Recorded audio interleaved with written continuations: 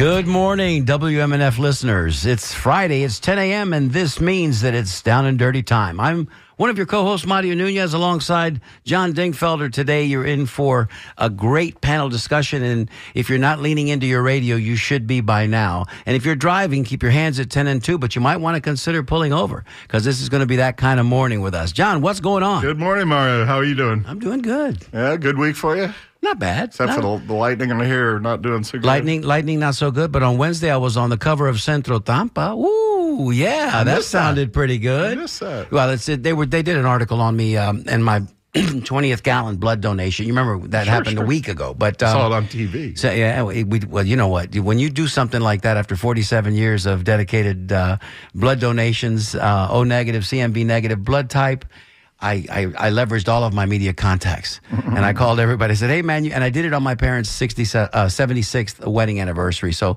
kind of a special day. But yeah, on the cover. But here's the thing: Centro Tampa, it's an all Spanish publication, so. You got to brush up on your Spanish to be able to understand what uh, Sofia Rabazzoni was the journalist. Uh, she's got an interesting story too. She's trilingual. So I told her you should be working for La Gaceta. I don't know what you're doing Right. with Centro Tampa. She's Right. born in Venezuela uh, to an Italian father, Wow. right? So she speaks Spanish and Italian, and, and, and her English is pretty good too. So Well, we're, we're proud of you. hey, man, thanks, thanks. we're Took took me a minute. you know, if they ever do an autopsy on me, a post mortem, I don't know what they're going to think. Man, this guy had a problem, but a lot of scar tissue. Well, before we get into our show, um, I, uh, uh, Lynn, my lovely, beautiful bride, Lynn Marvin Dingfelder, uh, she and I have a big day on Monday. It's our 30th anniversary of our first date. Hey, now. Our first date. Where's your bell? I know it's in the bag. I was going to go get it. It's, it's not with me. I'll get it now. I'll get it now. There you go. Dig, dig, dig. Uh, our first date at the Hurricane in Pass-a-Grille 30 years ago, which, you know what, uh, ladies, it goes by so fast, doesn't it? 30 years ago, you could, I just, I picture us sitting there. It's amazing. Anyway, we're going to go celebrate and probably recreate the moment uh, this, this Monday. All right. Back to the serious stuff. We are thrilled to have three fantastic guests, three fantastic women uh, as our guests. I'll, I'll start with uh, Stephanie Pointer. Stephanie, uh, welcome to the show. Good morning. Thank Regular you. for- call in, Thank you for Stephanie. having me. Regular, regular caller. Stephanie is uh, a leader, uh, a community leader, neighborhood leader. Uh, she lives down, she's a SOG, a proud SOG, south of Gandy in Tampa, and uh, ultimately became president of our uh, umbrella neighborhood organization, which is called THAN, Tampa Homeowners Association Neighborhoods. Stephanie's probably here on be- on behalf of herself today. Yes, I with am. her with her own personal opinions, not the p- opinions of THAN. Correct? Exactly. All right. Exactly. All right. We're also honored to have former County Commissioner Kimberly Overman. Hey. you. Kimberly, uh, Welcome to the a show, regular, a regular and popular uh, uh, member of this radio community, WMNF, Seminole Heights resident, uh, county commissioner. Uh, did a great job, and uh, hopefully would come back in public, public, public service. You're always in service, but but uh, soon. Thank you, John. And uh, we're going to be talking about something near and dear to both these ladies, which is affordable housing, and specifically the Live Local Act, which was passed um, about a year ago and and uh, recently updated. Our third guest is Nicole Nugema- Neugebauer. Oh, yes, you knew you were going to mess that up, I know, John. I know. I free, You should have I rehearsed panicked. it. I panicked. Nicole Neugebauer McGinnis. Yes. And uh, Whole welcome mouthful to. for you. Huh? It's a whole mouthful. Yeah, For you. I It wonder is how long you're going to stick with that three worded one. Uh, until everybody learns my new married last name, new, newlywed here. So until everybody learns my new last name, we're we're sticking with both. Probably going to be Nicole Mc- McGinnis uh, next Yes. time we see you. well, welcome, Nicole. Nicole's with the uh, law firm of Stearns Weaver. Um, she works with uh, our good friend Elise Batsel and and uh, Jake Cremer and Ron Weaver, if he's still around. I don't know, Oh, but yeah. but uh, but anyway, and she's uh, one of the resident experts in, in around here on the Live Local Act. Um, well, let's get started. Good morning, ladies. Morning. Morning. Kimberly, um, so this this Live Local Act, which we're we're going to talk about for the rest of the hour, and affordable housing. Uh, where did it come from? Uh, well, you know, this I think it was passed a year by the legislature last year. Uh, it was probably in the works prior to that. What do you know about it? Well, fascinating enough, um, there are a few legislatures, uh, legislators uh, in the state of Florida, they were very aware that we were having an affordable housing problem. It's very clear when we look at the average median income of the residents that have lived in Florida for long periods of time that they're now competing with new money coming in. Home prices were skyrocketing, but even before the pandemic, before we uh, you know went through that uh, absolutely horrendous economic hiccup that is taking a long-standing impact on Florida. Um, and before, you know, all of a sudden Florida was advertised as being, you know, free yeah. uh, and the best place to live because it was low cost. Well, it, that none of that was absolutely true. But in a housing area, it was specifically problematic because of the average median income of a majority of the workers of Hillsborough County. Um, when we compare it to many other areas in the country, uh, people come down here, they they make less, but there was also a lower cost at one point in time. Well, that's no longer the case.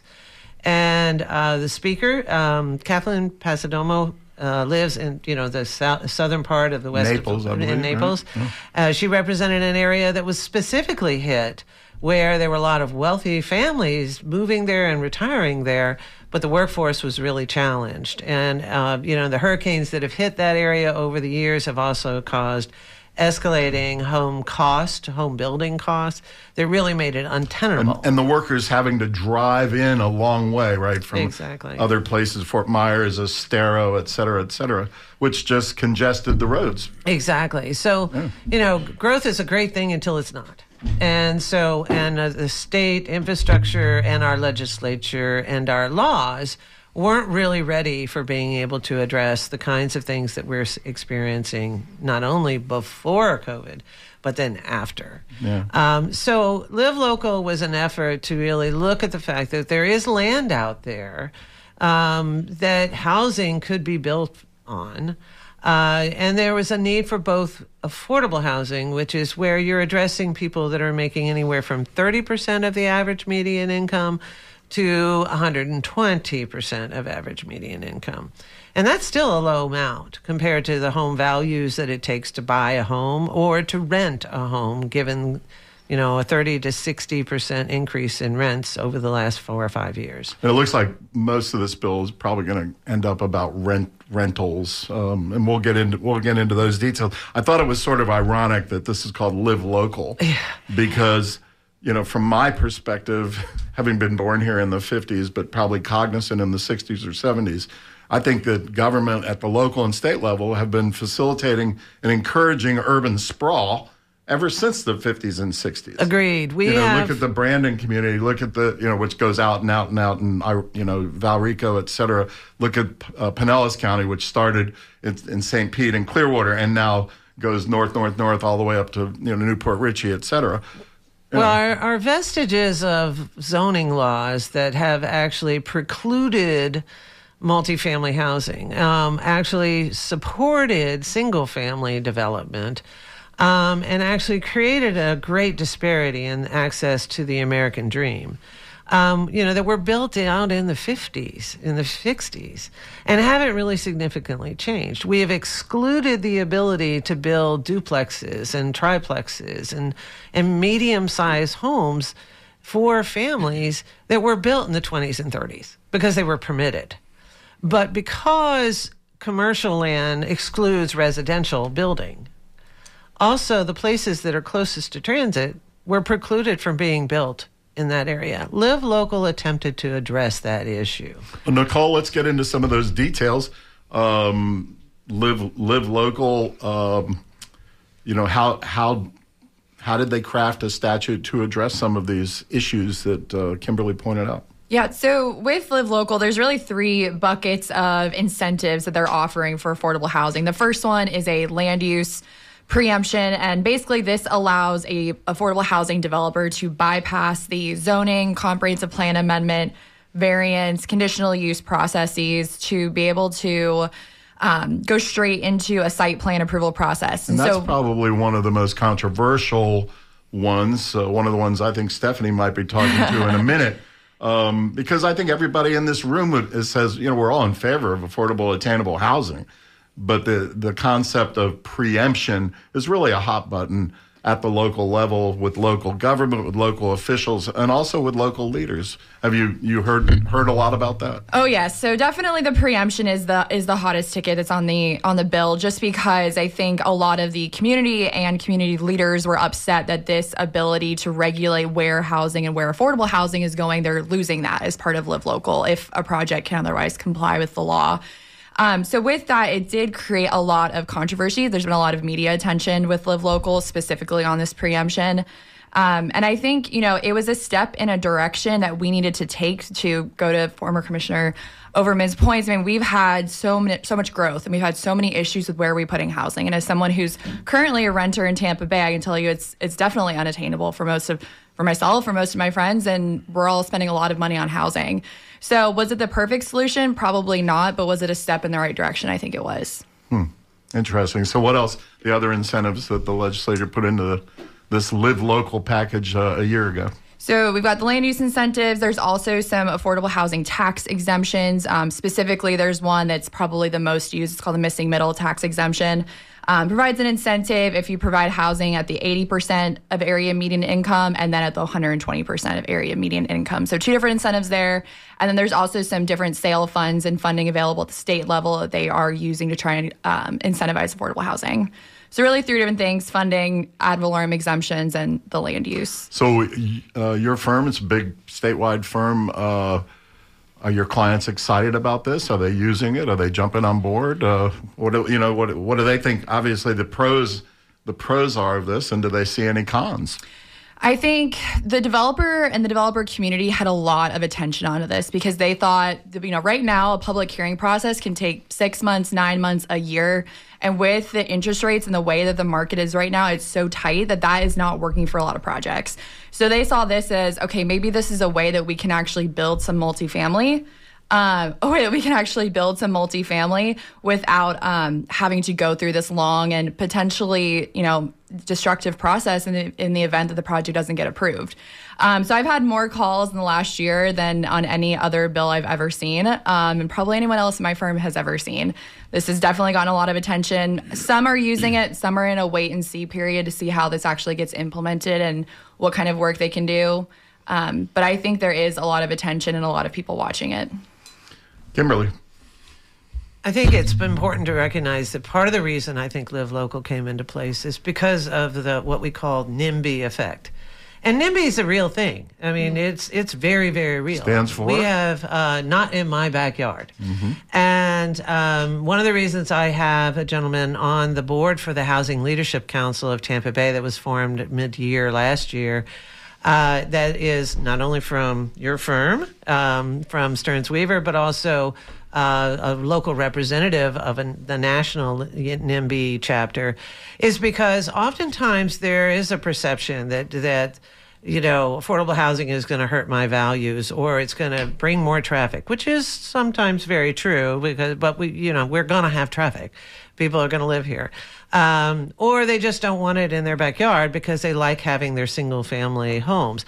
All of those things are are true, but the reality is we need density in the urban cores to be able to provide to avoid continuing the sprawl process we've been fighting over the last 30 40 years stephanie i'm going to get to you in one second and i want to i want to ask you nicole real quick on that question because this isn't limited to urban areas um, is it i mean i mean you told me before the show started that some of your projects are actually out in Hillsborough County, correct? Correct. So this is not limited to the urban areas, but I will say that with Live Local, there is this preemption, but you otherwise have to comply with the local government's regulations for multifamily, other than you're preempted on use, density, and height. One thing I'll say about Hillsborough County, if you're outside of the urban service area, it's gonna be really tough to comply with the multifamily regulations because right now you can't have multifamily on septic. So yes, you can use it in the county, but it's not necessarily available countywide. Yeah. So I've now set a record. I, have had Stephanie next to me for 15 minutes, and she hasn't said, and she, and she hasn't said it's like she's turned five shades of red, but but she hasn't. Anyway, Stephanie, come on back. I'm gonna explode. I'm sorry. um, I I want to first make sure that everyone knows and understands that I am pro affordable housing, um, but I'm also you're a, a land, you're a land, you're a landlord, and I know I'm for a, a fact Yes. that you keep your rents stable Yes. and relatively low Yes. because you do believe in Yes, it. I do believe in that. Mm-hmm. Um, I also have a huge issue with affordable housing being placed in an evacuation zone A because the folks who need affordable housing cannot afford to evacuate. Um, the last hurricane that we had come through, we had two apartment complexes in my community who turned off the electricity. Now, those folks evacuated or not, one way or the other, but the people who did evacuate came home to refrigerators full of spoiled food. Wow. And when I called the city, the city said there's really nothing we can do about it. So that is, is, is very disturbing in and of itself. I mean, that's a very small microcosm of what happens when the evacuation needs to take place. Let's talk about Gandy for a second because obviously that's where you live. That's where your personal experiences are. You know, from from the Gandy Boulevard down to MacDill Air Force Base. Yes, sir. There's what five, ten thousand. Uh, there were 10,000. When I started this, um, according to the GIS department for the county, um, there were about 10,000 units, 9,996, something like that. Traditionally, it was time, single family. Yes. Over the last Yes. 10, 15 years, it's become much more multifamily. Right. And um, by the time they finish everything that has been approved to date, it will be right at 19,000. Right, right over And from an evacuation problem, they call it coastal high hazard Right. problem. Um, you know, what, what, what's the impact? What's the actual impact in terms of people actually getting out of there? Well, it'll be interesting to see when it when when we get them all built because we still there's still so many in the pipeline. There's over a thousand still in the pipeline just on Tyson, which is Rattlesnake Point over by Hula But it's Bay. been bad in the past just with the 10,000, yes. right? A- And I mean, in 2006, we were supposed to have a red light at Tyson and West Shore, and we still don't have one. Yeah.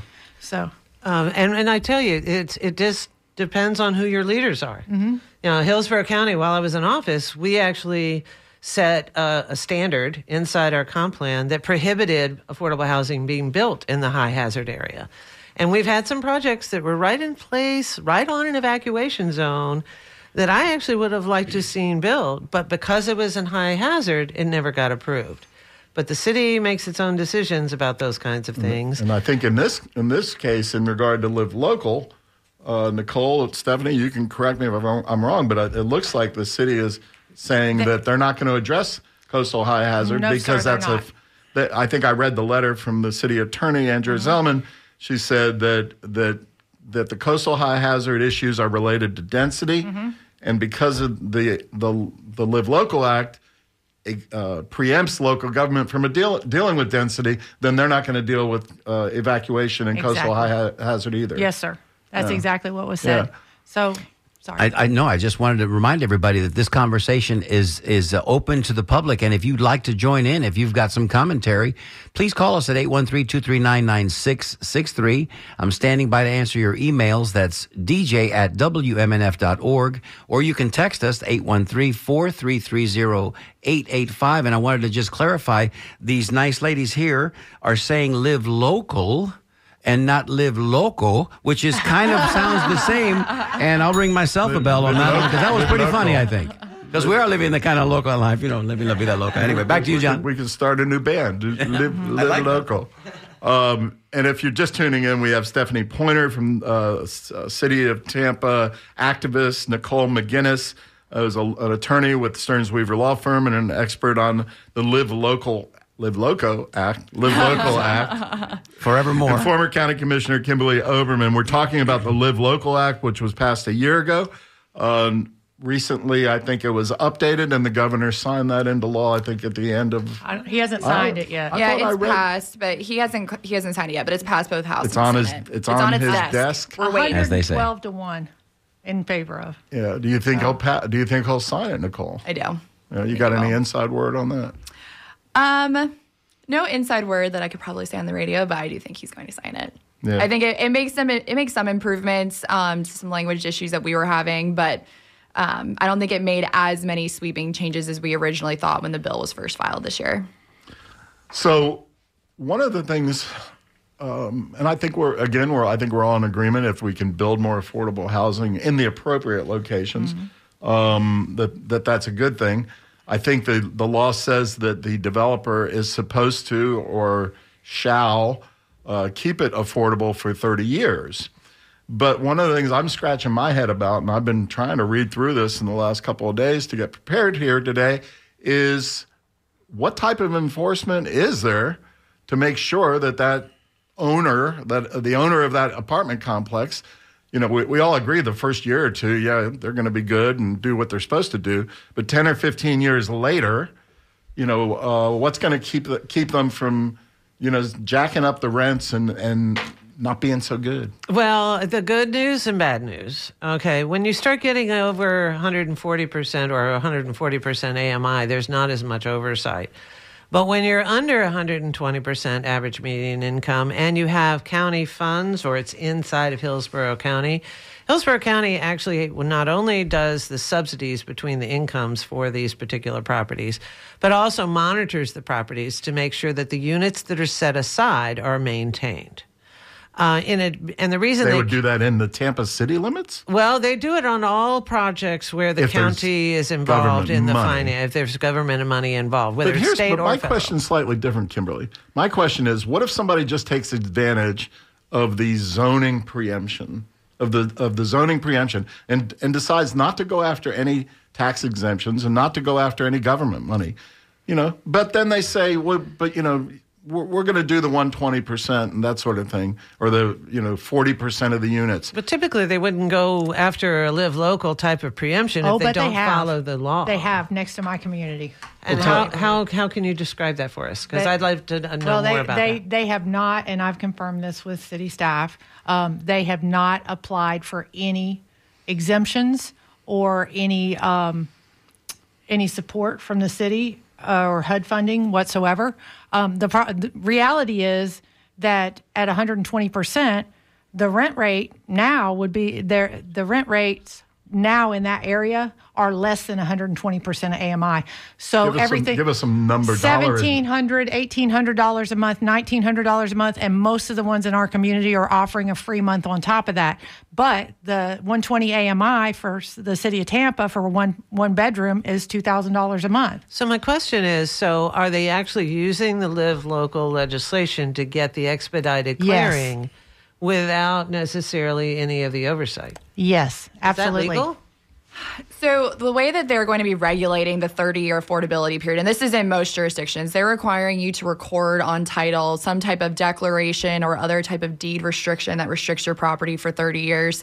Most local governments that I'm working with, they are coming up with their enforcement system. So typically, it's going to be some type of nominal fee that we pay to the city as on behalf of the developer, and we submit to them either a rent roll or a list of all of the rents that we're charging. So But that again, Nicole, isn't that tied to the tax exemptions? Isn't that tied to those money issues? Because when I was reading the statute and reading it very closely, it appeared to me that those that language fell into the tax exemption part, fell into the money part, not into the fact that they can just get the rezoning without it. So there is there's state oversight for the money for the tax exemption Yes. portion, but for the specific the land use preemption part, you do have to enter into this declaration or other type of 30 year restriction. And so the way that most local governments are implementing that is through okay, every year you're going to submit to us your rent roll, we're going to confirm it, you're going to pay us a fee. That must be jurisdiction by jurisdiction. Yes. Yes, Yes. but it's not in the statute. It's not in the statute, but that's how they're interpreting it. And generally, the developers have been fine with it. They want to make sure that everyone in the community knows that they are following the letter of the law. They've got to prove it to investment partners, lenders, lots of people who are all underwriting to them based on using this Listen, act. I'm I'm inherently cynical. Um, I'm inherently cynical. And Mario, we got a call. We do, but I mean, make your No, no, point. go Finish. ahead. Go ahead. you sure? I'm good with just saying I'm inherently cynical. I had a boy, and, and and for that we will ring a bell. All right, let's go to let's go to our caller who's been patiently waiting. John, you're on the air. Thanks for calling. What's your question? I'll take over where he left off. As far as being cynical, uh, uh, in, in all due respect, they all say that. They all say that. And and what what we're guilty of, I mean, it's not how we're going to play with all these things. We got to go back to the root, and it, and every county needs to have a sufficient keyword being sufficient impact fee, and you, and that's got to be pushed through. And the people should say we're we're not going to vote any of you in until you swear that yeah, this is what's going to happen. Impact fees are are to cover the impact. There's, it, it pays for police. It pays for everything. Everything's indexed toward, towards the, the people. And what, what we've got, like in Manatee County, you've got you can just take four, you know, Baroof and Neil and uh, uh, just a couple more, and they account to like you know getting approved four to 10, 12, 15,000 homes a year. And there's no way that can be explained away. Anytime somebody says, "Well, it's gonna it's gonna help the, the economy," I mean, throw them in the river and make them swim to shore. Hey, John. Because John, you John, you bring up a great point. Impact fees are an important part of this discussion. Thank you so much for calling, sir. wait, wait. Okay, just wait. Give me one more second. Go Don't for it. me off like that. Go for it. That's all right. that, that, that's it's not. It needs to be. Uh, people need to shut everything down until it happens. Because you just said you were born in the fifties. I was born in 1950 in Miami. I watched all that happen.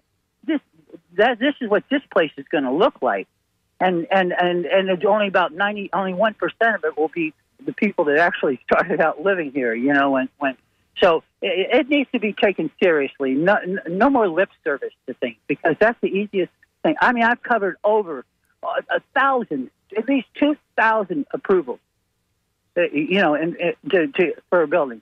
That's that's just you know it's it's unacceptable. So we have to do something. People have to get rid of the the dead wood in here and getting new people that that uh, are want to protect it. Thank you very much. Good point. Thank you, John. Thank you for your call. Thank you, John. Um, ladies, uh, impact fees. Um, I know. Yeah, oh yeah.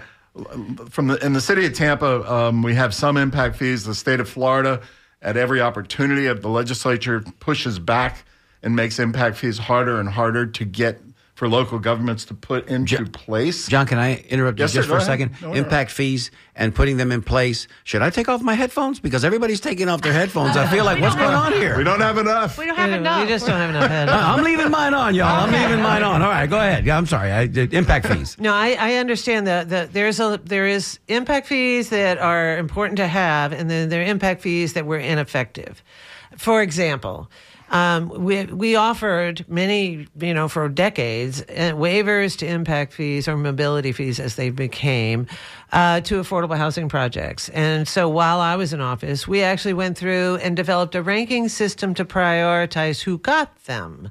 So if the project and the developer worked really hard to mirror what the county's comprehensive plan looked like, they were able to actually ha- sit at a higher rank for being able to acquire those. The other problem we have with impact fees and mobility fees is they hadn't been updated in like 20 years. So the problem we have think you and now, Kemp, uh, we a yeah, we actually did a, a we changed the methodology for calculating what it costs to build tr- roads and bridges and all and all the other infrastructure that's necessary that had not been updated for so many years. So we were basically trying to do those things, build roads with 20 year old numbers. Now, all of us know that that's just stupid, but we fixed that.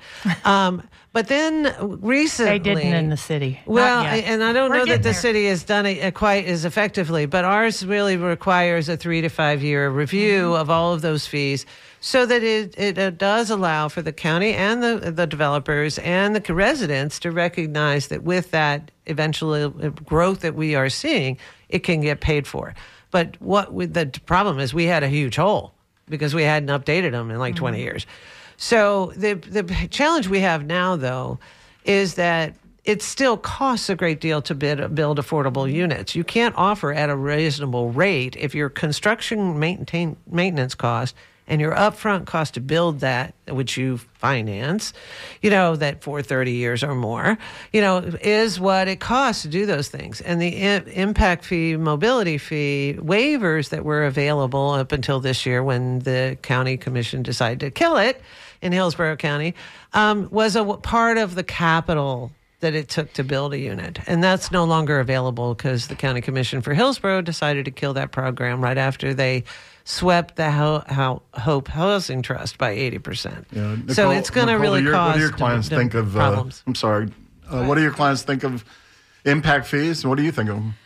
Um, impact fees. So if they're going forward with Live Local, they're still required to pay them. If you're in a county that happens to have an impact fee reduction or a waiver for affordable housing and the project can qualify, they are able to use that. But if they don't and they still want to move forward with the project, they have to they have to pay their fees like everybody else. This does not get you out of that. Um, I will say to Stephanie's point earlier, talking about coupling the projects with funding or the tax exemption. So, one thing that's kind of unique about the tax exemption is if you want to take advantage of that, you actually have to prove that you're uh, 90% of the market in the area or below. So, let's say we've got jurisdictions where market in that jurisdiction is 120% of area median income. In order to qualify for the tax exemption, you have to have a third party appraiser put together a study for you and say, actually, this is what the market rent is here, and you need to be 90% of that. A lot of the developers who are using Live Local, I'd venture to say most of the ones at least that I am working with, they can only make these deals work because of that tax exemption. So they're all going to be using this 90% of market reduction. Um, and I think that's really important as we're talking about this space because the construction costs are so high. It's so hard to get funding, it's so hard to get debt. That tax exemption is really is what taking them off. I saw the reference in the statute to hiring an expert and to do a study, but as uh, somebody who's litigated and been around the courthouse for 35, 40 years, you can hire experts to do studies that tell you what the client wants to, it to say. But we won't get into That's not too- legal. But we won't. uh, That is, that's exactly legal because that's what lawyers do. You hire experts. John, you give sit- us a bad name. hire- Come on. Stephanie, what's your response on impact fees? And Mario, we got another call. Well, you know, you know, I'm a big fan of impact fees. Um, I personally pushed forward the public safety impact fee in the city of Tampa. Um, we had 600 pages worth of fees that we asked for at the budget committee this past year. Um, some of those uh, items cost the city just our our uh, uh, uh, our neighborhood enforcement. Just Yeah. neighborhood enforcement is losing about. Three hundred thousand dollars a year Is because that, I haven't the, is done that the fancy name for code enforcement? Yes, code Oh, okay. enforcement. Yes. When I yes. came back to council in So 29. it's- yeah, but I mean, the, the the fact that they're losing that much money annually, it, it it's it's citywide. It's it's in it's a pandemic within our city that really has to be looked at, and council is doing a good job. when I when that I now. came back to council in 2019, and I asked the silly question because I'd been gone for 8 Mm-hmm. years, and I said, "We don't have a police and fire impact fee," and everybody kind of shrugged their shoulders. It was like, "Nope," and it was like. Okay, you know, know. everybody. So all these new construction, no matter if it's high rise, single family, or whatever, was getting a free ride. It, you're absolutely correct. But here's the thing: the good news is it's it's being moved forward Good. on. Oh, sorry, it's being moved forward on um, with council. And as a matter of fact, the the Mike Perry came to me last week and said um, Councilwoman Hurtak wanted me to be on that um, committee. So Good for you. Good for be you. Good for good for council. Good for the city moving forward. Mary, you got a call. We do. Let's let's go to our caller, Debbie. Thank you for being so patient with us, Debbie from Tampa. What's on your mind? Well, thank you so much. And uh, thank you for letting me make my comments. I, I want to say right off the bat, I've been in affordable housing in Florida for over 30 years, and all of your callers are really addressing um, these matters very professionally, and I think they're right on target with their comments. Um, what I would like to add to the discussion is that we've talked about the de- density and basically the administrative side of approving a new development, but we haven't talked about the other half of what you have to do for administrative approval, which is be consistent with the comp plan. And I think that is an area where maybe it's not getting as much attention, but I think uh, one of your one of your speakers mentioned evacuation zones and south of Gandy, and we also have a military base down there. Well, from a big picture, I am not seeing that those considerations are being really vetted. And for example, um, within the by MacDill Air Force Base, they recently published an, uh, a, uh, an air installations compatible use zone study. It was published uh, in 2023, and they list the potential future aircraft that could come to MacDill Base Air Force Base. One of which is a KC-46 that will have a maximum fuel capacity expected to be 212,000 pounds. Well, they are approving through Live Local, the city's first approval is a development that's adjacent to a clear zone, which is a mili- it's in the military manual as an area where you cannot build. um, and they're going to be landing a plane with this much jet fuel on it potentially in the future. And there's really no record of any comments from MacDill. And with the new version, you will not be able to administratively approve something within a quarter of a mile, I believe, from an Air Force base. So, what I want to um, kind of maybe have the address is evacuations could occur for something other than a hurricane. For instance, if there was, heaven forbid, an accident with one of these refueling planes and people did not have the time to evacuate that you would normally have with a hurricane, a lot of lives could absolutely be lost. And this was basically, you know, run through very quickly with, with really no addressing of that. And it's also in a coastal high hazard zone. So I am all for more affordable housing for because we desperately need it in all of our cities. But it, can't be at the safety of other residents in our community and result in development that's really incompatible can, incompatible with adjacent properties. And I, I would like to hear some of the speakers' um, comments on safety for these decisions and also the fact that it, it's very in, in the city of Tampa. You really can't have it reviewed unless you filed um, with the state to have the state review it under. There's a statute where you could do that, and that seems like um, it's it's actually silencing ideas that could result in something being considered that otherwise would have missed. And Debbie, thank thank you so much for those great comments. Thanks for all you do in the community. Uh, we we appreciate you greatly. Um, and you bring up some good points. We're gonna we're gonna talk about right now. The um, the MacDill issue. I just want to give some personal insight. Twenty years ago, uh, Pam Iorio appointed me to serve on the BRAC committee, which is which was a, a, a committee to address these issues around MacDill Air, For- Air Force Base to make sure we don't lose MacDill. Make sure you know make sure that the Air Force wants to continue.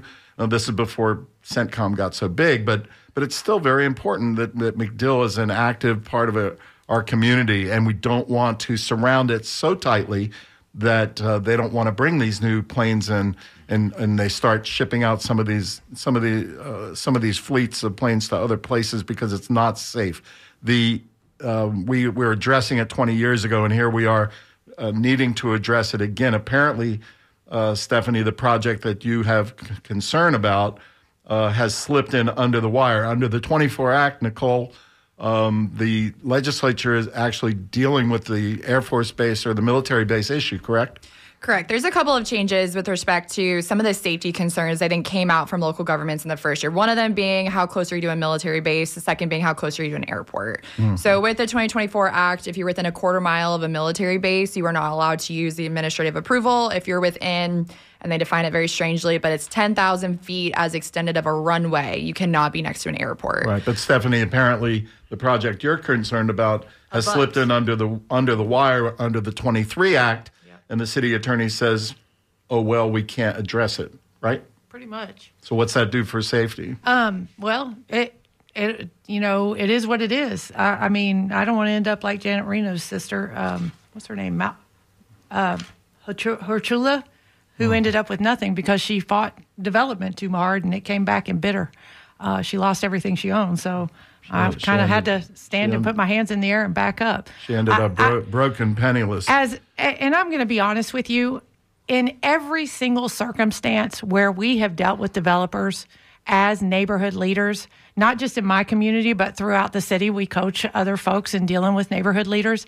Every time that we sit down at the table with a developer who is open to our feedback and open to speaking to the community members, we end up with better projects.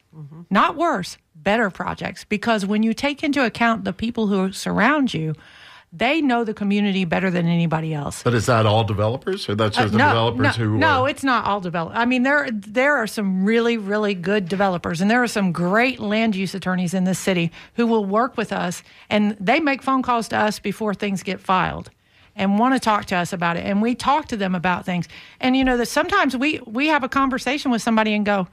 You know, that's something that really rides city council wrong. You might want to look at that particular issue. And because we see it so often. And so a lot of times when we're working with folks, we want to work with them. And, you know, we want to because it, it benefits us. Yeah. I mean, So traditionally, neighborhoods, and you Mm-hmm. you're you're a big part of neighborhoods, have been concerned about issues like height of the project adjacent or near, you know, uh, neighborhoods and density. Those are those are the two things that, as a councilman and as a commissioner, uh, Kimberly, you know, those are things that people came to. But this particular act, Nicole, fill us in. But this particular act seems to preempt local government on those two big issues of height and density and goes even further and says that you can build a building as tall as the tallest building that's been approved in the city of Tampa, well, city of Tampa, for example, any of these jurisdictions, and you can be as dense as anything that's what within one mile. So it's you can go up to the highest density and FAR that's allowed in the jurisdiction, and then you can go up to the tallest commercial or residential structure within a mile. Um, if you are, as part of the 2024 bill, if you are adjacent to single family on two sides, it is, I believe, 150% of the tallest building that you're adjacent to or within a quarter mile. So they do make a little bit of a height walk back for the 2024 bill if you are next to single family. Um, but no, it's true. And, and something, you know, I kind of want to bring everyone back as to how we got here. We got here because we have local governments and not saying this is the Tampa Bay area, but we got here because we have governments around the state that were not approving housing. They were dealing with NIMBYism, they were dealing with a lot of government red tape, and nothing was getting approved. And now we can't have college students come back home where they grew up in Tampa or other cities because it's too expensive to live here. So I'm not saying that Live Local was the end all be all and the greatest piece of legislation, but it was a step in the right direction to deal with this issue. Are there other issues? Certainly. Evacuation, safety, all of those are still concerns, but we've got to do something to move forward with affordable housing. And, you know, I think that every year this bill is going to get tweaked and we're going to see small changes being made to deal with issues as projects come up. But for now, it is something that at least the state is trying to, to step in. Kimberly. And I think that the, the good news, and, and for the most part, you know, the city of Tampa, Hillsborough counties, you know, comp plan has been evolving. It's starting to get updated. Not all communities have done that. And I mean, it hadn't been updated in a very long time. Um, at MacDill, we had a housing workforce or task force on, on housing, and there was lots of conversation about what ne- what was needed for the workforce there and where the housing was. Uh, so we've had neighborhood involvement that has really offered opportunities for making things better. What's crazy, Kimberly, on, Mc, But MacDill can't do. They can't opine on their own behalf. And so, if it's not in our comp plan to protect those those facilities, then Live Local will override, and that's where we really need to look at continuing the progress on working on our comp plans to address those issues. and- it's in the comp plan, 8.9.3, I believe. Stephanie, you're you are a military bride, I believe. Yes, my husband's retired Army, 34 years. There you go. So, So you've got our legislators that that's what's happening. And Yes, I- exactly. Ironically, Exactly. ironically, Kimberly, you know the county better than any everywhere. Hillsborough County. Um, ironically, the so much of MacDill workforce, swarm, you know, in uniform or, or elsewhere, commute out to Valrico and Fishhawk, right? Well, they have um, the military has specific guidelines on what they're allowed to use their base housing allowance for, and so, but that's not what's been built anywhere near. Um, and the house, the existing housing stock fits, but it doesn't cover based on the values and the rents. It it won't cover it. So. Uh, there's just not enough allowance to be able to make that work for the communities that want to live close to the base. so as a result, So we really now have what I consider an emergency level problem because we have airmen that have to live in Hernando County or Pasco County because they can't afford to live in Hillsborough County.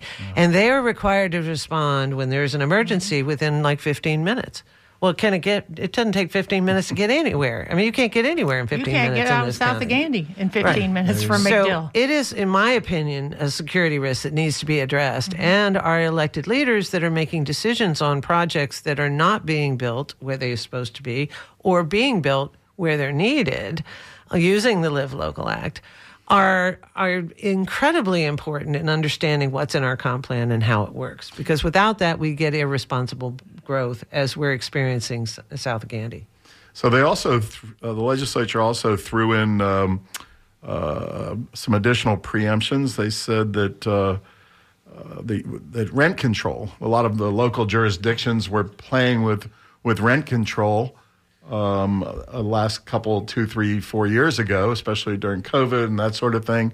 And uh, I think St. Petersburg went at it real hard uh, and passed something.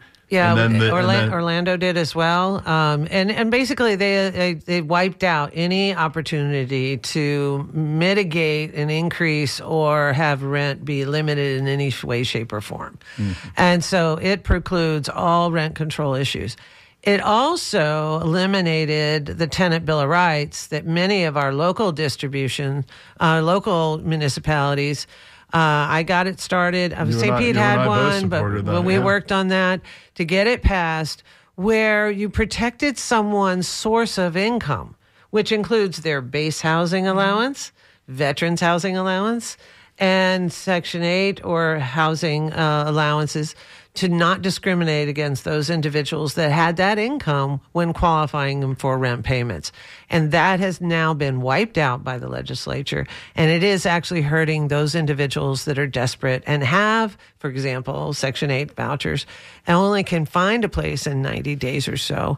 And they can't find a landlord that's willing to accept those payments because they're now allowed to discriminate income source of income, which is just heartbreaking for people in the affordable housing workspace. Stephanie, is the city of Tampa doing enough to respond and address live local? Uh, it sounds to me like other jurisdictions are being a little more aggressive. Uh, Pasco County and, and some of the other jurisdictions that Nicole was mentioning earlier uh, are putting ordin- their own ordinances in place to respond to developers who want to do it. Uh, what's going on in the city of Tampa from your perspective? Well, um, city staff presented the Live Local on July the 13th of last year, and they, um, city council pushed back hard. They were very upset about it. Um, they wanted more input, um, and I know that uh, Councilman Carlson has a- asked for them to come, staff to come back and report after the the first one was passed in in March, um, and you know when we found out about it. And, you know, it's always a bad day when you find out about it because the land use attorney calls you and somebody else calls you in like in the same 10 minutes with one another and tells you about it.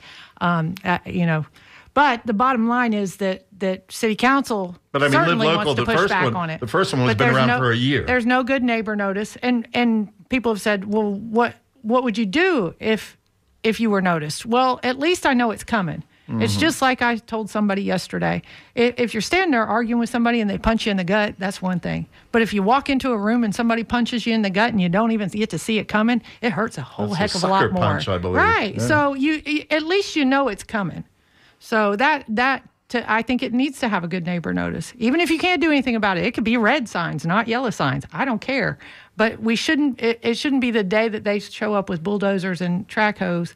Should not be the day that the neighborhood finds out what's going on. Yeah. So, this issue about property tax exemption, um, you know, I thought to myself, well, that's kind of nice, nice for affordable housing, that sort of thing, especially if perhaps those savings get passed down to the tenant, which is a whole nother issue.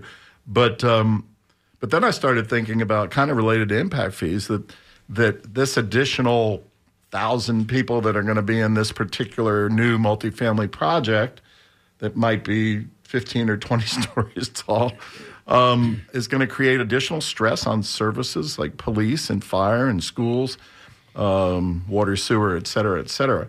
Um, Nicole, you know, the, the ultimately that falls on the as a burden on the existing taxpayers. Uh, any any response to that? It does. And I would say that with the tax exemption, you know, this is a step to try to create additional incentives, an additional type of incentive that had not been previously available. One thing I will say about Live Local projects, and now having worked with a lot of affordable housing developers, they are looking for projects that are near transit. They want to make sure that the people they're putting in these communities actually can live and work there and be able to be successful. And putting them out in an urban sprawl area, not very helpful for them. They want to put them near transit. And talk about the parking exemption as related to near transit. So there is a exemption. So in the 2023 version, there's an exemption if you um, that says the local government has to consider a parking reduction if you are near a major transportation hub.